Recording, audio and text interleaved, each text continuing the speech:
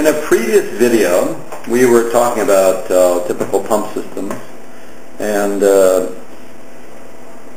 what uh, what most people don't uh, think about uh, when they're when they're looking at pump systems is you know what is the variation in pressure throughout the system.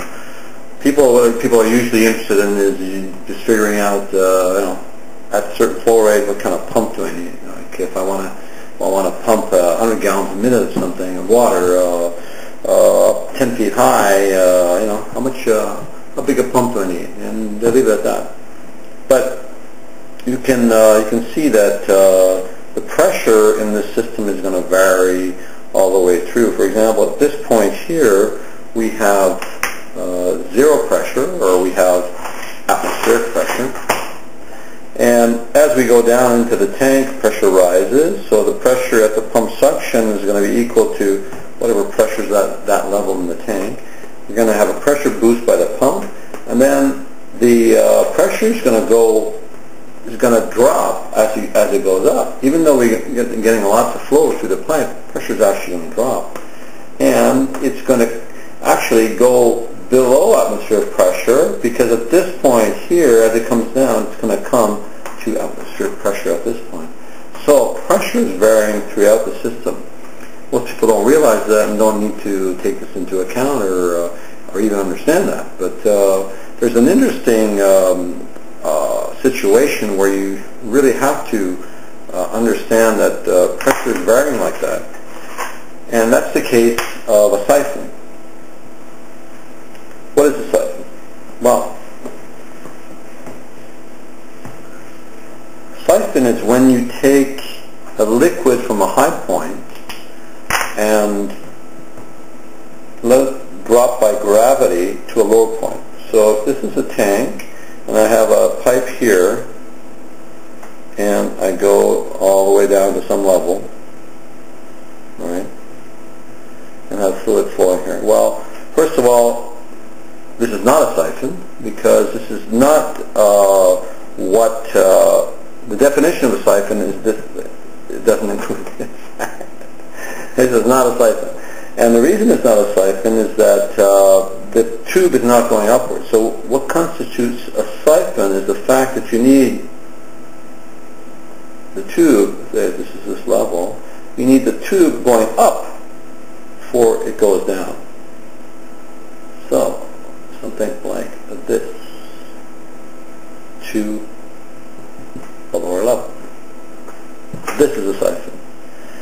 And so it's rather, it kind of gives us uh, impression that we're getting something for nothing because the liquid is starting at this level is going up on its own before it drops back down, which is you know rather magical. Uh, how how is it possible? Well, it's possible, the, the, the, in a nutshell, the reason why it's possible is because at this level here, we have uh, low pressure, that is pressure that's lower than atmospheric pressure.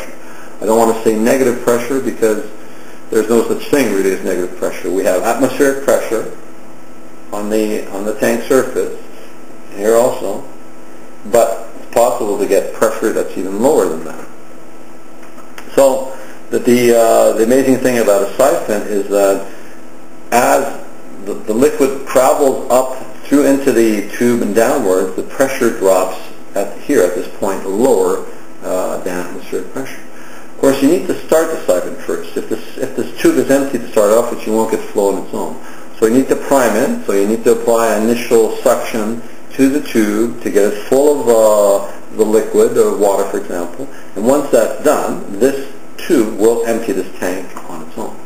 And it's done exactly like I, like I just mentioned because this, this, uh, these, part, these fluid particles here are at lower pressure than these. So this is actually driving, this is higher pressure than here. So this pressure is driving the particles upwards and after they pass this point, they're just falling by gravity down to that point.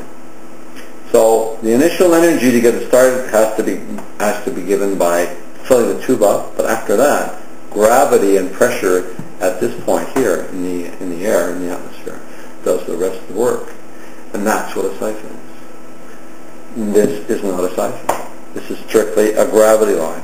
But this is the cool thing, a siphon.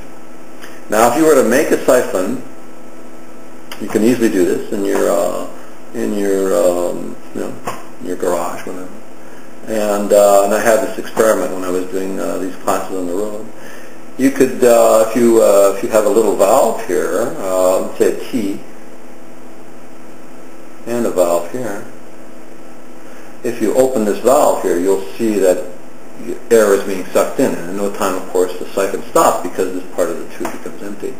And this will prove to you that this area of the tube here is under low pressure, and without low pressure, you don't have a siphon. And uh, that's what a siphon is. So you can find out all types of information like this uh, on my website called uh, pumpfundamentals.com, where uh, you know stuff for beginners, intermediate, and uh, and uh, more advanced people.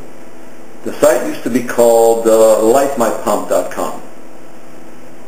Yeah, I know. Uh, I, at the time, I thought it was a good idea, and uh, uh, it sounded good. It had some some sort of uh, spiritual connotations and this and that. Uh, you know, I just I thought it was great, and only one of my friends who, who started basically laughing, you know, pointed out that. Well, his laugh told everything that maybe the, the name wasn't uh, wasn't appropriate for the for the subject. Um, and I, he, that point, he brought that point across pretty good. So uh, I changed it to pumpfundamentals.com. There you go. I'll see you on the next uh, video. The Heineken uncertainty principle says you can never be sure how many beers you had last night.